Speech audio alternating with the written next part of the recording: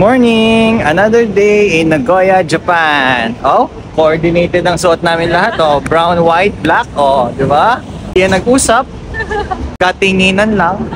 Oh, grabe to. Talagang pinipilahan siya. O, may oras kung kailan lang siya maglalabas niyang mga... Ewan ko kung tinapay ba yan. Ayan yung oras niya, oh.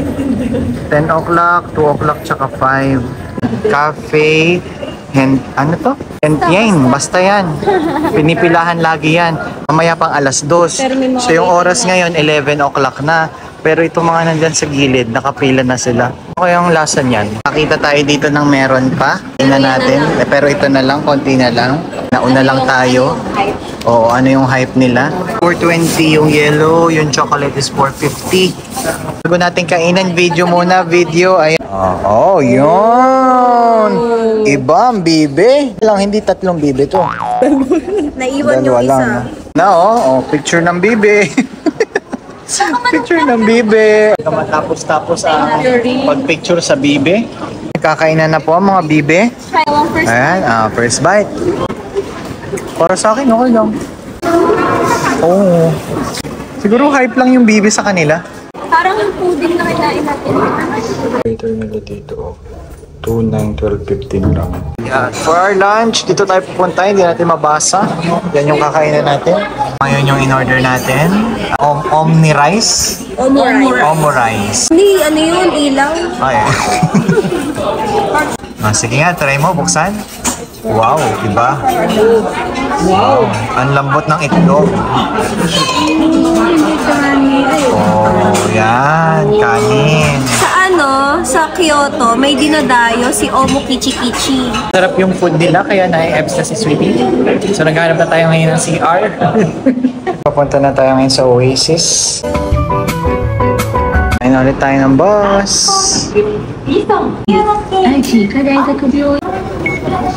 Happy na po natin ulit yung pupuntahan natin. Nagoya, Paris. Init na init. Ayan o. Oh, Park nila dito, may pausok o. Oh. Ah, miss pala. Para yung humid hindi siya mainit. Miss na yung galing ka na. Totoo? Yung presyo ng ice cream dito, 864. Kasi mga 350 pesos yan. Benchy. Okay, nandito na tayo ngayon sa Oasis 21. Ito ng roll up nila dito. Grabe, iba. Parang walang lagutok pag itinataas. Guys, nandito tayo ngayon sa, hindi ko alam kung anong tawag dito. Gustong gusto natin ng sasakyan na to. Nakakita tayo ng kukunin na natin. Bibilhin na natin siya only here at Japan. Suzuki Hustler. Mas madaling bumili dito ng sasakyan sa Japan. Kasi hindi mo kailangan pumunta sa kasa. Dito lang. Makakakuha ka na. Walang maintenance Walang yan. maintenance sa walang PMS to only at 400. Color 1, 2, 3, 4. 4. Ikot. And then let's go! Let's smoke it! Ganda Oh! Color is this? Oh, red! Red! Oh, paano? Bawal yan sa ano. May tape pa sa isang gilid. Yan, ganyan na lang. Grabe, ang cute naman. Inaasa yung bowl! Galing naman. Para namang ano. Iba. Hustler. May hustler na. Ayun na nga, nakalagay hustler. Ano mga gusto niya? Tuto, tuto. Jimmy, Jimmy, Jimmy. Tuwa siya, tuwa. Dalawang sasakyan yung kukunin natin dito sa Japan.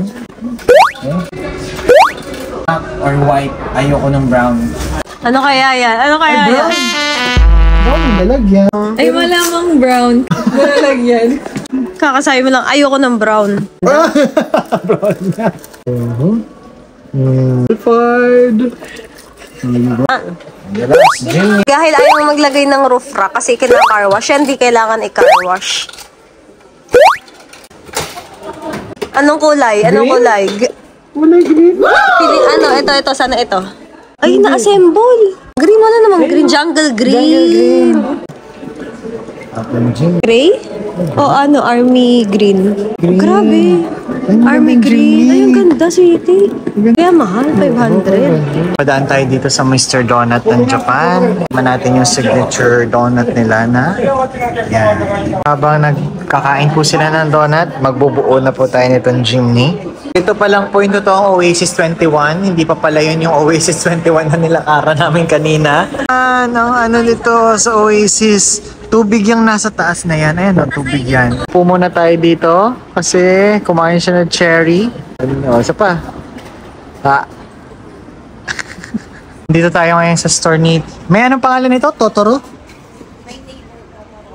My Neighbor Totoro. Ghibli. Ghibli yung tawag dun sa animal. Ah, gumawa. Ayan. Kilalang kilala yan ni Sweetie Pie. Oh, ito yung tuwan-tuwa dito sa store na to. Oo, oh, oh, nako.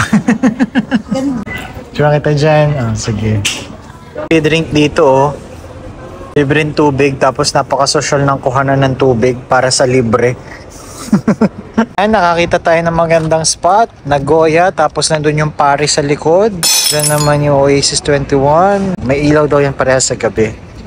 Bago tayo pumunta dun sa Oasis na may ilaw, pupunta muna tayo dito sa Apple Store. Yung hagdan nila glass. Check lang natin ano meron sa taas. Balik na ulit tayo ngayon. Mag-out na tayo. Mapicture na natin yung may ilaw na Oasis. Ikot na ulit tayo sa mga mall pero iba talaga ang presyo sa outlet. Kaya bukas, babalik tayo dun sa outlet. May less sila pero iba talaga yung presyo sa outlet. Kaya na yung ilaw nung Paris. May ano ba tawag dun sa ano? Hindi sa parang Paris building na yun. Mirai Tower. Ha? Mirai. Mirai Tower. Yung artista na ano diba? Na? Si Mirai. Ito komedyante si Kiray. so, ito na yung kaninang itsura nung walang ilaw. Okay, nandito na tayo ngayon sa rooftop. Ay, grabe. Ito yung kanina yung may ilaw. Tapos malapit ka dun sa tower o yun know. Tapos sinilalakaran mo, yun pala yung ilaw kanina sa baba, no? Ang ganda, oh.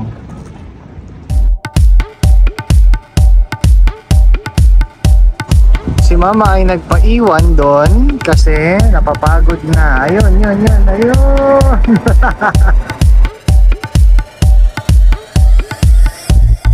Baba na po ulit tayo para kumain ng dinner sa Ichiran. Bye-bye! Bye-bye! Na tayo ngayon sa bus stop. Currently 7.55. Darating 7.57. Bus number 36.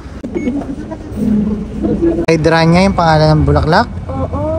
Oh, grabe.